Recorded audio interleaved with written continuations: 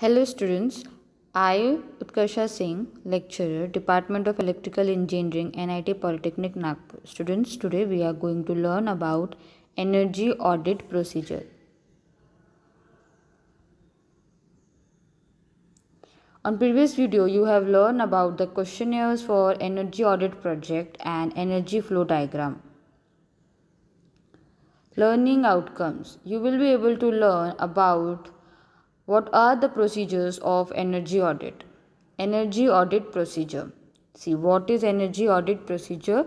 It is a procedure where auditor observe the pattern usage of energy usage in the facility मतलब audit जो होता है वो ये देखता है कि किस पैटर्न में एनर्जी का यूज़ हो रहा है ठीक है प्रैक्टिकली क्या होता है जो भी हम एनर्जी सेविंग मेजर्स यूज़ करते हैं वो क्या होते हैं? लो कॉस्ट पे होते हैं। तो इसीलिए एनर्जी ऑडिटर का सबसे पहले काम ये होता है कि जहाँ पे भी वो इंस्पेक्शन करने के हैं, वहाँ पे सबसे पहले ये चेक करना कि पैटर्न ऑफ़ एनर्जी यूसेज किस तरीके से वो एनर्जी यूज़ हो रहा है, वो चेक करना।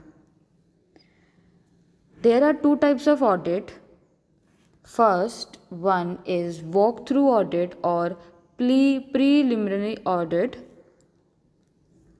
and detailed audit. Walk-through audit uh, is that uh, first कि जो प्रीलिमिनरी एनर्जी ऑडिट है उसमें सबसे पहले ये करते हैं कि you have to establish a organisation आपको एक एनर्जी कंजर्व कंजम्पशन का एक ऑर्गेनाइजेशन सेटअप करना पड़ता है. सेकेंड कहाँ पे सेविंग की स्कोप है? है ना where you can save your energy by changing the appliances वो आपको एक्सटीमेट निकालना पड़ता है। उसका एक्सटीमेशन मतलब होता है calculation you to estimate that where are the scopes of save saving third ये देखना है कि कहाँ पे सबसे ईजीएस्ट वे में मैं उस अप्लाइंस को चेंज करके दूसरे अप्लाइंस से एनर्जी कंजर्वेशन कर सकता हूँ। उस पर आपको पहले अटेंशन देना है। फोर्थ सबसे ज़्यादा हम वहीं पे इम्प्रूवमेंट प्रोवाइड करते हैं, जहाँ पे हमें लो कॉस्ट इम्प्रूवमेंट या सेविंग हम कर सकते हैं। ठीक है? अभी हम कोई ऐसे इक्विपमेंट को नहीं हटाएँगे जो कि इंपॉर्टेंट भी है और एनर्जी भी बहुत यूज़ करता है बट वो इंपॉर्टेंट है तो आप उसको हटा नहीं सकते। हाँ लेकिन ऐसा कुछ है कि जिसका अल्टरनेट हो सकता है तो हम उसकी जगह पे दूसरा कोई एनर्जी सेविंग इक्विपमेंट लगा सकते हैं। Set a reference point from where you have to start your project uh, for inspection. वो आपको वहाँ से आपको शुरू करना है आपका प्रोजेक्ट उसी को बोलते हैं set a reference point now identify and study more about the product और मेज़रमेंट है ना? मतलब आपको स्टडी बहुत ज़्यादा जब तक आप बैकग्राउंड स्टडी नहीं करोगे in all the equipments connected in that project तब तक आपको उसके बारे में डीप नॉलेज नहीं मिलेगा। So you have to study first preliminary energy audit uses existing and easily obtain data now you have जब आप उसको स्टडी कर लोगे देन आप उसके बारे में डेटा भी निकाल सकते हो। स्टडी हम क्यों करते हैं? Just to have a data about that equipment that is well ना डिटेल्ड ऑडिट ना डिटेल्ड ऑडिट में क्या होता है कि यहाँ पे आपको एक कॉम्प्रीहेंसिव कॉम्प्रीहेंसिव मतलब होता है you have to write each and every thing in detail आपको हर एक चीज़ को डिटेल में लिखना है। आप सिर्फ़ पॉइंट्स नहीं लिख सकते क्योंकि वो एक रिपोर्ट बन रही होती है। तो उसमें आपको हर एक चीज़ बताना पड़ता है कि यहाँ पे हम जब विज़िट किए when you visit in your project आपका कोई भी प्रोजेक्ट होगा, मान लो एक घर है आपको उस उस हाउस में आपको उसकी एनर्जी कंजम्पशन बहुत ज़्यादा है तो आपको उसको रिड्यूस करना है। तो आप स्टार्टिंग में जाते बराबर हटाओ तो थोड़ी ना दोगे सारे equipment you have to first study कि यहाँ पे कौन कौन से इक्विपमेंट लगे हैं कौन कौन से अप्लाइंसेस लगे हैं, किसको हटाने से हमारी एनर्जी सेविंग होती है। So you have to first do a detail study and evaluate आपको इवेल्युएट करना है कि आपको चेक करना है कि अगर इसने एक महीने में कितना यूनिट यूज़ किया कितना किलोवाट आवर का एनर्जी कंजम्पशन की ये सारी चीज़ें आपको वहाँ पे इवेल्युएट करना है। सेकेंड देखो डिटेल्ड ऑडिट बहुत ही एक्यूरेट एस्टिमेट आपको निकाल के देता है ठीक है? मतलब कुछ भी अप्रॉक्सीमेट um, वाला काम नहीं है। इट्स अ टोटल एक्यूरेट जिससे कि आप सेविंग कर सकते हो आराम से। Third it considers the interactive effect. और जब हम डिटेल्ड ऑडिट का यूज़ करते हैं तो एक इंटरैक्टिव हमारा प्रोजेक्ट पे दिखता है, इफ़ेक्ट दिखता है है ना? और इसमें यहाँ पे जो भी एनर्जी यूज़ आपका हो रहा है इक्विपमेंट के थ्रू उसकी पूरी डिटेल, पूरी कैलकुलेशंस कैसे का, क्या यूज़ होता है, कैसे, अब जैसे रेफ्रिजरेटर है। रेफ्रिजरेटर में लिखा रहता है कि this much of unit it will take in one year है ना? वहाँ से लिखा रहता है। तो वो कैसे लिखा रहता है? उसकी पूरी कैलकुलेशंस है ना? और जैसे आपने, जैसे अभी आपने एक महीने पहले ख़रीदा है, अपने रेफ्रिजरेटर तो एक महीने में उसने कितना यूज़ किया, कैसे यूज़ किया, वो पूरा कैलकुलेशन डिटेल्ड ऑडिट में आता है। तो वो कैलकुलेशंस की वजह से बहुत हेल्प मिलती है, ताकि हम उसको एक्सचेंज कर सकें, ठीक है? नाउ डिटेल्ड ऑडिट जो होता है, वो थ्री फ़ेज़ में होता है। पहला फ़ेज़ है pre audit phase second audit phase and third is post audit phase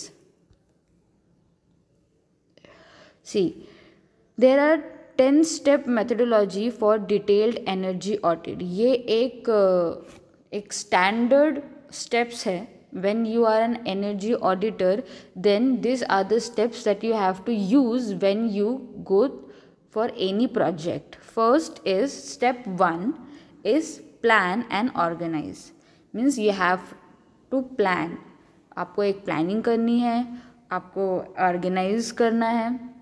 then आपको पॉइंट में एक रफली आपको एक पॉइंट्स बनानी है कि कहाँ कहाँ पे चेंजेस होने वाले हैं. ठीक है? Resource planning establish and organise energy audit team then आपको organise instrument and time frame ये सारे you have to take an interview informal interview with energy manager अब जहाँ पर भी आपका प्रोजेक्ट है, ठीक है, वहाँ पे आपको या तो अगर आप किसी रेसिडेंशियल में है then you have to take talk with the owner आपको ओनर से बात करनी पड़ेगी. If you are in industry then you have to talk with energy manager ठीक है? क्यों? Because they will give us a better idea and everything about the appliances which were present in their project ठीक है? तो ये पहला step है। दूसरा step you have to conduct a brief meeting एक छोटी सी मीटिंग जहाँ पे पूरी की पूरी अवेयरनेस बताई जाएगी कि क्या क्या होने वाला है, कैसे होने वाला है ना? तो ताकि आप लोग जब वहाँ पे काम करने जाओ तो वहाँ पे रहने वाले लोग भी आपके साथ कॉपरेट करें, ठीक है? फिर आपको एक क्वेश्चन बनाया जाएगा, जो मैंने प्रीवियस पीपीटी में बताया था वीडियो में, कि उसमें क्वेश्चन रहते हैं, वो आपको, वो भी पूछने, क्योंकि हर एक का अलग अलग हेड होता है। If you work in a industry और कमर्शियल प्लेस देन हर एक अप्लाइंसेस का या हर एक सेक्टर का अलग अलग मैनेजर होता है। सो मीटिंग ऑर्गेनाइज कराना बहुत इंपॉर्टेंट है ताकि आपको हर किसी से इंफॉर्मेशन लेने में आसानी हो। Third step is you have to gather data gather जो भी आपने प्राइमरी डेटा गैदर की थी, अब आपको उसको एक एनर्जी डायग्राम में एनर्जी फ्लो डायग्राम में चाहिए already tell told you in previous video आपको वो फ्लो डायग्राम बनाना है because it gives you a very effective present to understand that project ठीक है? आपको पूरी हिस्टोरिक जो भी पूरी हिस्टोरिक डेटा एनालिसिस करनी है एंड देन आपको एक फ्लो चार्ट बनाना है उस फ्लो चार्ट से आपको ये समझ में आएगा कि कहाँ पे कौन सी एनर्जी कैसे यूज़ हो रही है, कहाँ पे कितना लॉस हो रहा है, ये सारी चीज़ें आपको समझने में बहुत आसानी होगी। यहाँ तक कि आपको एनुअल बिल कितना लग रहा था एनर्जी कंजम्पशन का पैटर्न क्या है जो लॉग शीट वगैरह होती है नेम प्लेट होते हैं मशीन्स पे, वो उन सब का भी आपको अभी एक एनर्जी फ्लो डायग्राम बनानी है यूटिलिटी डायग्राम ताकि यू कैन अंडरस्टैंड और कोई भी उसे जब उसको रेफ़र करे then it will help to understand them easily step four survey करना एंड मॉनिटरिंग करना। एंड सर्वे पता है आपको कैसे की जाती है। अभी जैसे एक कंपनी में बहुत सारे मशीन्स हैं तो आपको पूरा मोटर का सर्वे करना है कि सारी एक ही रेटिंग की है कि नहीं? ठीक है? उसका इंसुलेशन कैसा है? लाइटिंग कैसी है? आपको सारे जो एनर्जी ऑडिट के इंस्ट्रूमेंट्स होते हैं, उनका यूज़ करके सबके मेजरमेंट्स लेने हैं और सबके एक डाटा एक डेटा डिज़ाइन करनी है कि motor one having this this of rating motor two having this this of rating you know this is called survey and monitoring means you have to keep on eye आपको हमेशा देखते रहना है कि how it works हमेशा, क्योंकि जब आप एक ऑडिट पे काम कर रहे होते हो देन आपका पूरा ध्यान होना चाहिए कि कहाँ पे कितना एनर्जी इलेक्ट्रिसिटी यूज़ हो रहा है। Step five you have to conduct a trial experiments for the selected energy guzzler means आपको एक्सपेरिमेंट्स करने हैं, जैसे वन डे का आप कर सकते हो ट्वेंटी फोर आवर्स आप किसी भी चीज़ पे मॉनिटर कर सकते हो। पावर फैक्टर किलोवाट आवर है आप उसको नहीं कैलकुलेट कर सकते हो ठीक है? पूरे दिन में हम they there will be a different loads क्योंकि एक की कंटिन्यूस कांस्टेंट लोड नहीं रहता लोड हमेशा चेंज होते रहते हैं। So you you can observe in twenty four hours कहाँ कहाँ पे आपके लोड चेंज हुए हैं। सो so, उसमें भी आपको हेल्प मिलेगी। Step six analysis of energy use. आपको एनालिसिस करना है कि आपका जो एनर्जी यूज़ हो रहा है और कहाँ पे वेस्ट हो रहा है, कहाँ पे लॉस हो रहा है then you have to make a chart on this energy and material balance see देखो जो भी अप्लाइंसेज होते हैं, वो आपके मटेरियल हो गए तो वो आपके कैल कैसे वो एनर्जी यूज़ कर रहे you have to check that and then you have to create a balance sheet of that so that you can analyse that where is the energy usage and where is the waste Now, second one, step 7 identification and development of energy conservation opportunities.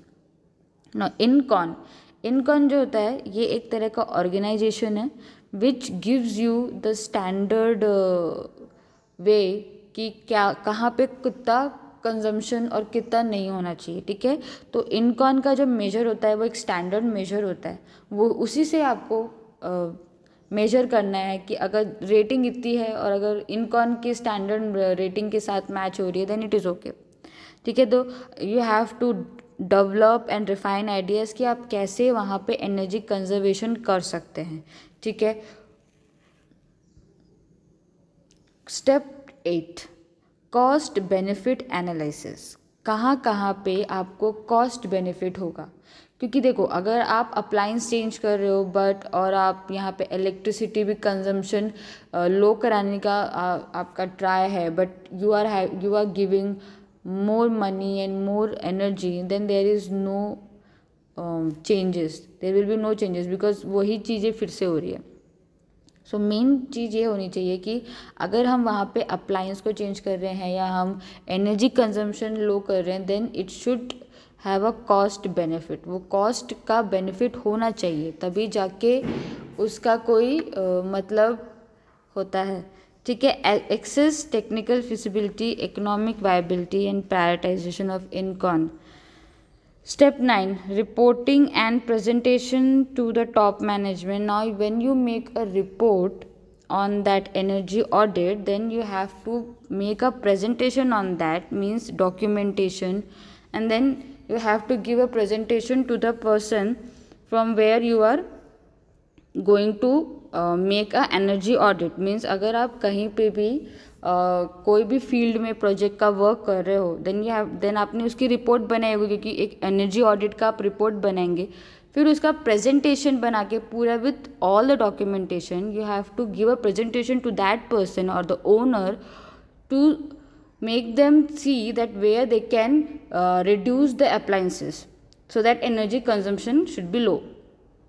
Now step 10 post audit phase means implementation and follow up अब जो भी आपने इस पर work किया है जितना भी आपने बैकग्राउंड स्टडी की है जो भी रिपोर्ट में बनी है एंड अगर आपको ऑथराइजेशन मिल जाती है टॉप मैनेजमेंट से तो फिर आप उस पर implementation and flowing up following up आप ले सकते हो means you can work on that project Summary So in this video you have learned about the energy audit procedure and PO mapped PO1, 2, 3, PO10 and PSO1. Now next video will be on energy audit report uh, format. Thank you.